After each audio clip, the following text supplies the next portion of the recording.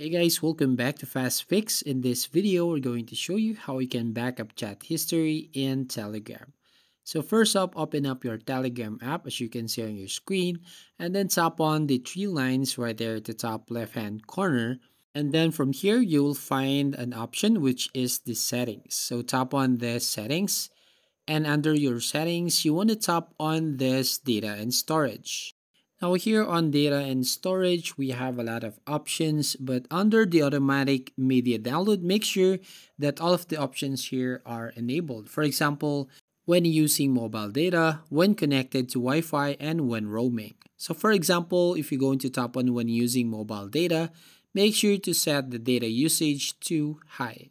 And also here on the uh, when connected to Wi-Fi, so just set to high and also when roaming. So with the settings, it will automatically save all your chat history in Telegram. So that's it. That's how you basically backup chat history in Telegram. So if you find this video helpful, please consider to like and subscribe to the channel. And don't forget to hit the notification bell to notify you on the next video.